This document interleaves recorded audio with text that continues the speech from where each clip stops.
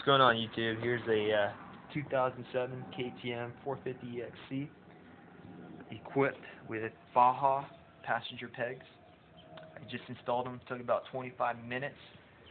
Um, I noticed there wasn't any videos or reviews on these pegs, so I thought I'd post a video.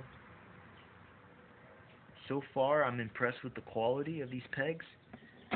Um, if you step back, it looks like it's made from the factory.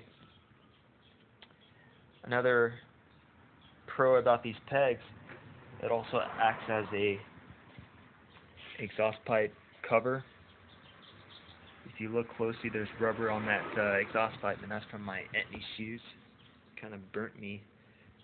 So you also kind of get a uh, um, exhaust cover with these pegs. It's kind of nice. But as you can see, they look factory kind of like my dad's KTM LC4. That's the factory one. Here's the Baja ones, and they look very nice. The only thing that concerns me is this right foot peg. It seems really loose, kind of loose compared to the left one. But uh, I'll let you guys know how they hold up.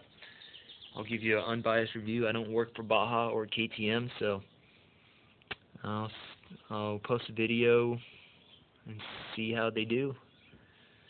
Hope that helps.